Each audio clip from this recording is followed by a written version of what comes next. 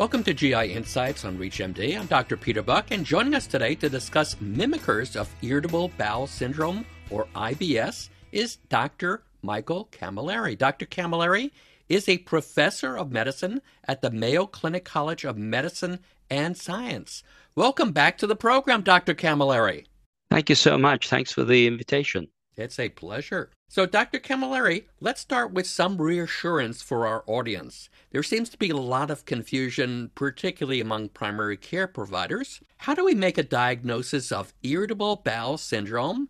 And what are the risks of missing something? That's a very fundamental question. The symptoms of irritable bowel syndrome are those that we have recognized for decades. So, the occurrence of abdominal discomfort or pain in association with a change in bowel function, either stool consistency or stool frequency, and then there are some clues that we need to pick up when we're taking the history that might point us in a certain specific direction to try to identify mimickers of irritable bowel. But basically, there have been symptom based criteria that have been proposed. There are, for instance, four sets of Rome criteria.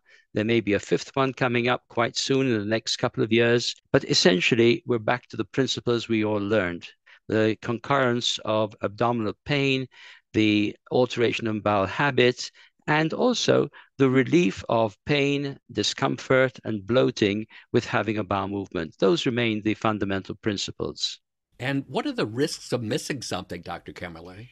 So, because those symptoms are relatively non-specific, it's important to keep in mind that there are certain specific diagnoses that we can make where we can individualize or more specifically treat the underlying problem that's causing the symptoms that suggest irritable bowel syndrome. So let me give you three or four examples. In the context of irritable bowel syndrome with constipation, the main thing I always want to exclude when I see patients is the concurrence of an evacuation disorder, a disturbance of the evacuatory process because the pelvic floor or the anal sphincters are not working in a coordinated manner with the colon to allow the stool to come through the anal canal. Now, what might be the symptoms we should look out for? First of all, patients report that they strain excessively to have a bowel movement. Second, they have a sense of incomplete evacuation of the rectum. And some patients may even volunteer the information, or we may have to ask for it to get that information, that they sometimes have to place a finger into the anal canal to help the bowel movement out, or in women, push on the back wall of the vagina to help the bowel movement out.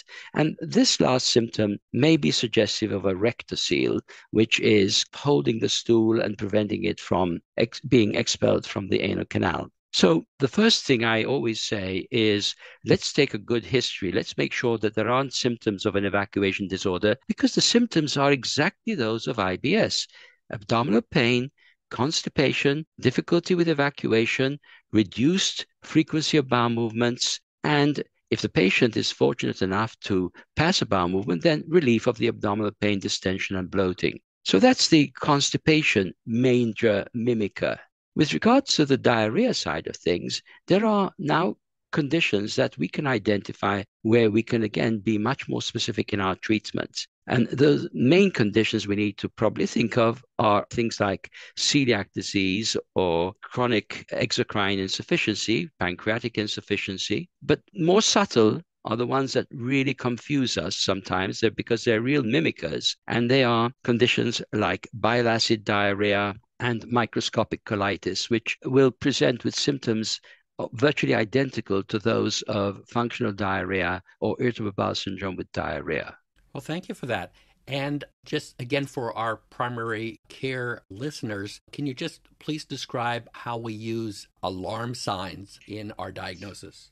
That's critically important. So, in all of these patients, the first thing we have to make sure is that there are no alarm symptoms or signs. So, the passage of rectal bleeding, the unintentional weight loss, the recent onset of severe constipation, these are symptoms that may alert us to the possibility that the patient has colon cancer presenting with those symptoms of unintentional weight loss, rectal bleeding, or recent onset of constipation. Those are the three I keep in mind.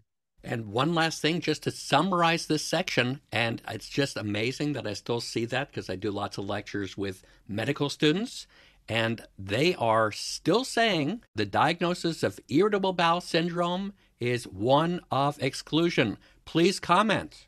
Well, it's one of exclusion, but we need to be cognizant of the fact that it is such a common condition affecting probably 12% of the population. And in the absence of alarm symptoms, to pursue the tests that would require unequivocal exclusion is probably not necessary.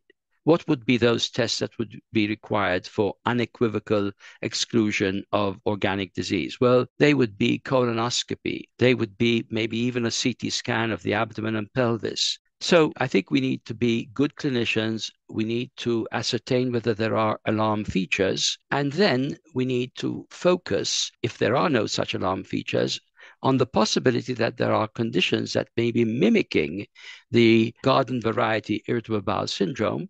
And I think it would be good, if I may, to just explain two or three other things about those mimickers, because there are now relatively easy tests that can be done particularly in the gastroenterology practice, that will help us be much more specific and allow us to individualize treatment of our patients with apparent irritable bowel. So let me tell you what those tests are. First of all, if you're thinking about a patient with a possible rectal evacuation disorder, the first most important test is a digital rectal examination. Don't forget to do that. For the past 30 or more years, I've recorded for every patient in whom I do a digital rectal examination the following features. First of all, place the patient in the left lateral position. Ask the patient to push down to strain as though we're having a bowel movement to see how much perineal descent there is. There should be a descent of about two centimeters. If it's less than 1.5 centimeters, or if it's more than four centimeters, then there's a problem with the pelvic floor that could be causing the evacuation disorder. When you put your finger into the anal canal, is the anal sphincter tone very high, such that you can hardly get your finger in? Can the patient squeeze and have normal contraction of the external anal sphincter? And then ask the patient to bear down as though they're having a bowel movement while your finger's in the anal canal and see if you can feel the paradoxical contraction of the anal sphincter and the pelvic floor.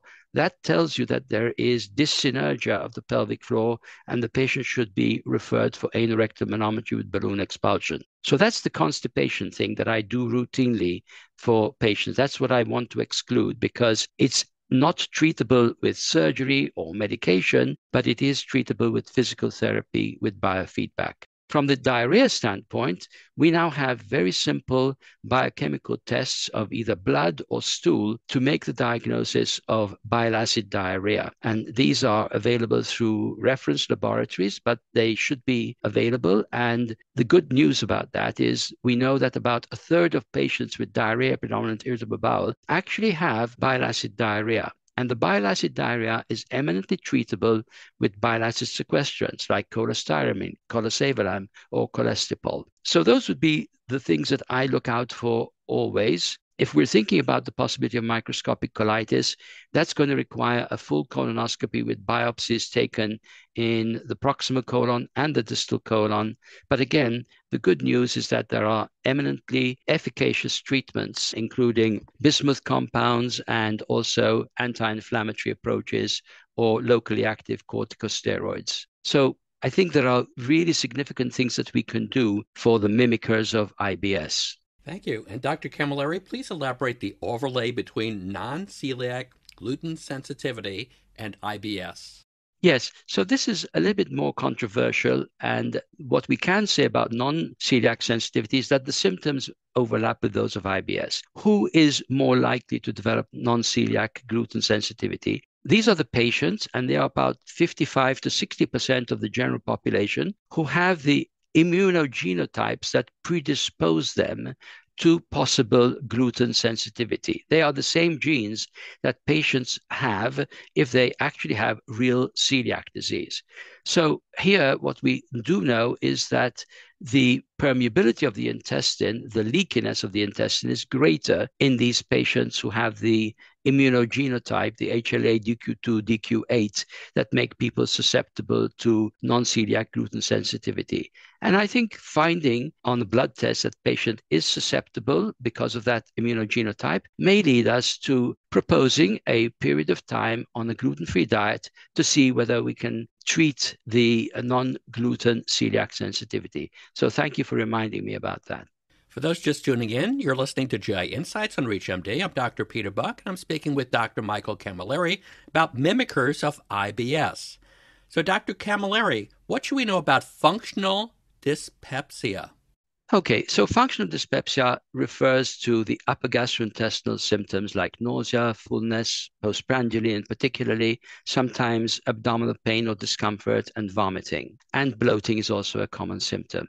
I think what I keep in mind is that there are two main symptoms or symptom complexes. One is epigastric pain syndrome, which is dominated by pain as the name would imply, discomfort, and upper abdominal bloating. These patients usually have increased sensitivity of the stomach. They don't have delayed stomach emptying, for example. And the other type of functional dyspepsia is postprandial distress syndrome. These are patients who have nausea, fullness, postprandial bloating, sometimes rarely vomiting, and abdominal discomfort, but not really significant pain.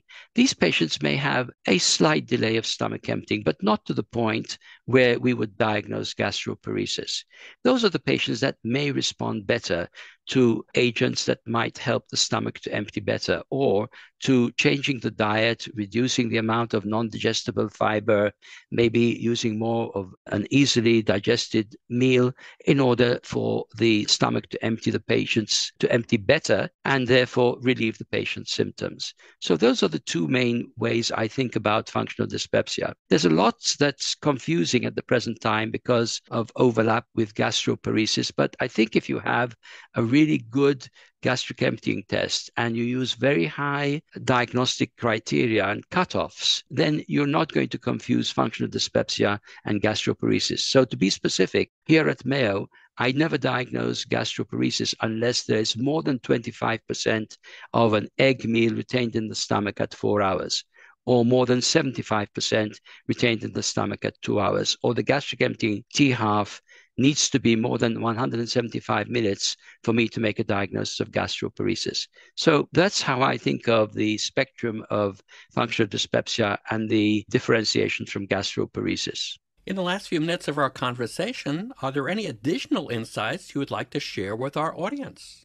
I'd like to go back to the principle that the symptoms of IBS and functional dyspepsia are not specific. And we, as providers for that patient's care have opportunities to be more specific in identifying the underlying problem. There are now very simple tests that are available, especially in gastroenterology practice, that will allow us also to make those specific diagnoses. And just to summarize, I emphasized evacuation disorder in the context of constipation, bile acid diarrhea, microscopic colitis, non-celiac gluten sensitivity, and of course, making sure patients don't have celiac disease as well in the patients who present with symptoms suggestive of functional diarrhea or irritable bowel syndrome with diarrhea. Those are great points, and I want to thank my guest, Dr. Michael Camilleri, for joining us today. Dr. Camilleri, it was a pleasure speaking with you. As always, thank you so much, Peter. I appreciate it. For ReachMD, I'm Dr. Peter Buch. To access this and other episodes in this series, visit GI Insights on ReachMD.com. We can be part of the knowledge. Thanks for listening and looking forward to learning with you next time.